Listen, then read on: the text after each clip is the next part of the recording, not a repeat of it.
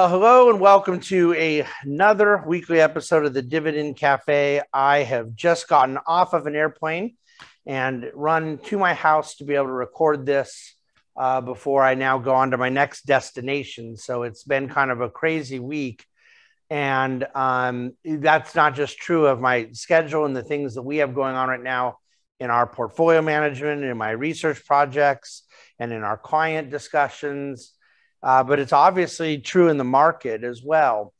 And I want to talk to you about something today that um, I think will have the appearance of being unrelated to the Ukraine situation. And yet, I do believe for more thoughtful listeners and viewers, they may connect the dots a little bit to Ukraine.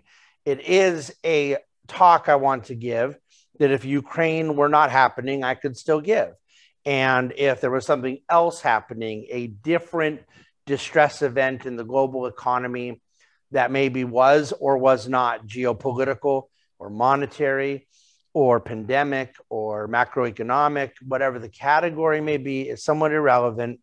But um, what we're going through right now has to do with the geopolitical uncertainty of Russia's um, ungodly invasion of Ukraine and if we weren't going through that, we would be going through something else, and such is the story of history. Well, in a weird way, I'm accidentally segueing to what I want to talk about because I believe that uh, there is a way in which people look at investment markets that, in a lot of ways, whether it's consciously or not, whether there's self awareness to this or not, is very similar to the way I think people on one side or the other fall as to how they view um, humanity and and history.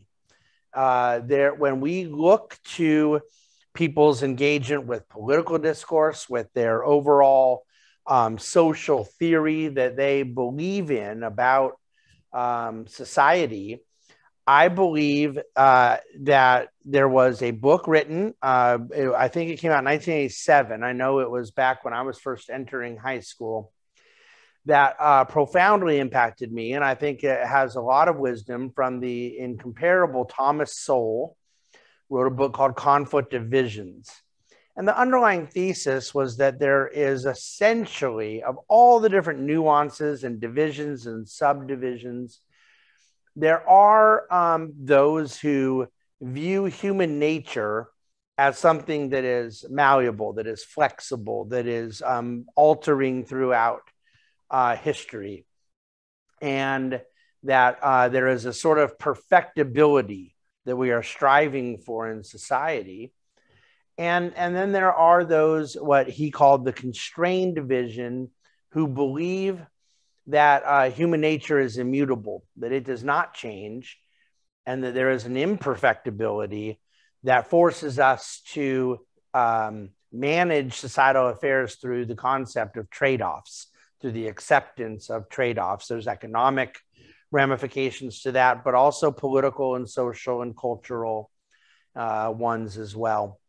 So, what does this have to do with investment philosophy? Well, I think I think that there are those who view uh, who who um, are trigger happy to the idea that something is changing, and there are those that are predisposed to believe that uh, there are kind of immutable laws and principle principles that govern the nature of investing, and that I do fall into that latter camp um, there's a very high burden for me to believe that a particular principle or law could be altered or changed. And this is, of course, coincident with my my view of social theory and political philosophy and and and so forth as well, if you will. It's sort of a political epistemology that the way in which one understands things and views things. I come from a more constrained vision but when it comes to this changeability of human nature, when we're talking about Sowell's paradigm of, of a conflict divisions, but right now I'm talking about investment philosophy and financial markets at large.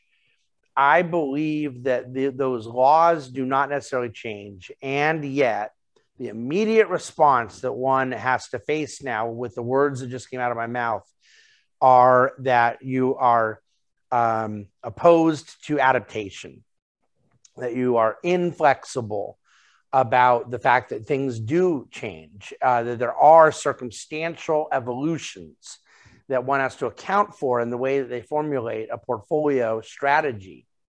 And I believe it's a very uh, unfair accusation. That what I'm referring to is an acknowledgement of different circumstances and catalysts and conditions, but that coexist with unchanged laws and principles. And why am I talking about this today? Why is this sort of high level armchairing and philosophizing about portfolio philosophy important? Well, first of all, the whole topic is important. Um, it, it's important when you talk about Sowell's, conflict, divisions, because it's a, a completely transformative understanding of human nature and the way people view human nature and the way that their view of human nature informs their entire view of, of society. But apart from that, when it comes to investment management, it's very important to me that my clients understand where I'm coming from philosophically, that a um, and where others are coming from, because there are people, even those that are outside the seduction of clickbaitism and, and financial journalism, there are those that genuinely have a true um, belief that things are just changing and that what that whole old thing we used to believe is gone and there's this new thing now. And I think it is incredibly dangerous. And that when those have a low burden for believing that everything has just been completely churned, that they reject the lessons of tradition, of rules, of history, and oftentimes reject uh, immutable economic principles. Um, that generally what comes out of that is incredibly dangerous, if not fatal. And, and so there is that camp of people that I think are predisposed to a hype, to a revolutionary view of, of investment markets. And then there are those that are predisposed to a view of being informed by history and believing in immutability of, of certain laws and principles. And so then I, I take the law of asset allocation and the kind of broad applicable principle that one um, blends various asset classes together to seek an optimal risk uh, mix of risk and reward in a portfolio. And they do that for the purpose of achieving a goal. And one of those goals has to do with keeping the investor invested.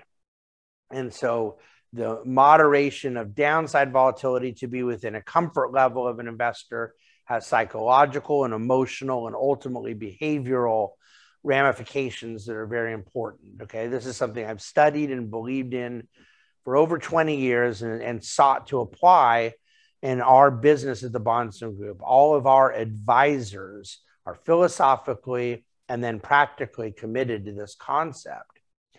And yet we're in a period of time where I think that principle is unchanged, but some of the catalysts that work within it, the application of it, is in, is enduring a um, transformation. And what I mean by that is the core vanilla asset allocation idea of what we in our business refer to as a 60 40 portfolio. The idea that something in the range of 60% in equities and something in the range of 40% of bonds um, allows an investor to still capture enough of the upside of the um, 60% in equities to be uh, goals driven and successful, but that the 40% of bonds offsets the period of downside volatility that the equities inevitably provide without giving up so much of the return that the that um, the total net result is inadequate. And and I think there's been periods where that idea has worked. There have been periods where the idea has not worked. But fundamental to the thinking behind the idea was that the 40% in bonds were non correlated to the 60% equities. That when equities were zigging downwards, the 40% of bonds were zagging upwards in a sort of non correlative dif- diversification benefit. And it's um, intuitively logical and in many periods, not all, practically beneficial. And that my belief is we're in a period where that concept of what we call boring bonds, safe treasuries, at the point at which the Fed got not just the short end of the curve, but the long end of the curve to near the zero bound, it lost its efficacy as an asset allocation strategy. So now we go into a period pre-Ukraine, you had an awful lot of equity market volatility that was not necessarily hitting our clients the same way because of the sort of good fortune of being overweight energy and where value and dividend growth and things were actually not as impacted. But that could change at any point in time. And it certainly has been different for many periods for us.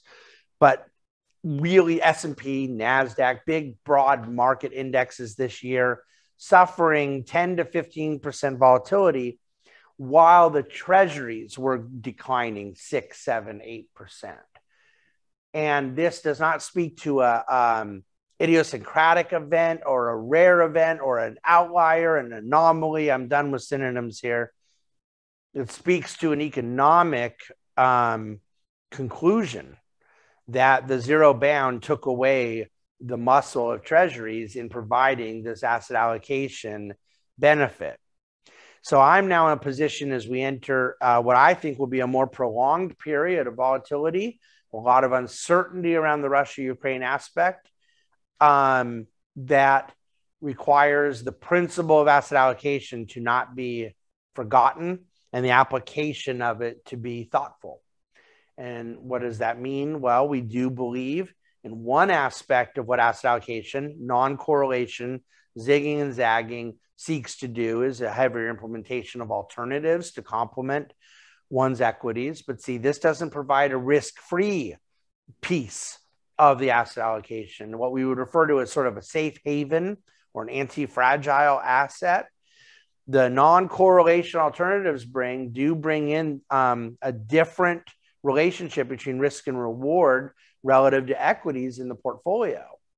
But they do invite other risks, such as manager selection, portfolio strategy, execution. You know, that requires an incredible amount of due diligence and research by my team. And I think we do very well in our alternative procurement, but we do so because we invest a ton of time and energy and resources into it.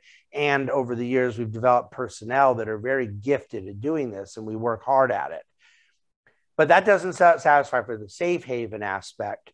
And I just want people to think about the idea. I put a chart at dividendcafe.com today of over the last 10 years how Chinese government bonds the sovereign debt uh, issue out of China has done relative to gold, relative to German bond, relative to US Treasury, relative to a whole host of what we would normally think about as these safe haven assets.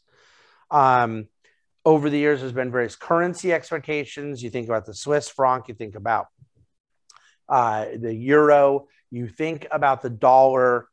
And what I would suggest is that we are living in a time where the anti fragile asset um, is TBD. The safe haven asset is, it, we're in search of what it may be. People have different agendas. Gold bugs want to scream from the hills it's gold. I have arguments against that. I have arguments for it as well, but intellectually, I'm not convinced it's accurate. And historically, I'm certainly not convinced it's accurate. So the United States Treasury is in a different position and how it may be applied in a portfolio. Do we still want to own boring bonds as dry powder, as say as principal protection? I think that's all legitimate. But I think that the expectation one has of how asset allocation functions, um, we're living in a time where the principle must be held dear and the application must be continually thought through. Not because we're radical revolutionaries seeing evolution in financial markets at every turn because I'm the opposite of that. I view I have a constrained vision for financial markets. But right now, whether it's Russia, Ukraine, or the very next thing that will inevitably be around the corner on this side of glory. I think that it's incumbent upon us to constantly look for the right application uh, to the principles we hold dear. That's what we're here to do at the Bahnsen Group. I hope this has been helpful, informative, or at least thought provoking to some degree. And I certainly invite your questions and feedback. I would love for you to uh, rate us, subscribe, get this podcast in your player, and forward it to those you think would be of interest. I'll leave it there. Thank you, as always, for listening to and watching the Dividend Cafe.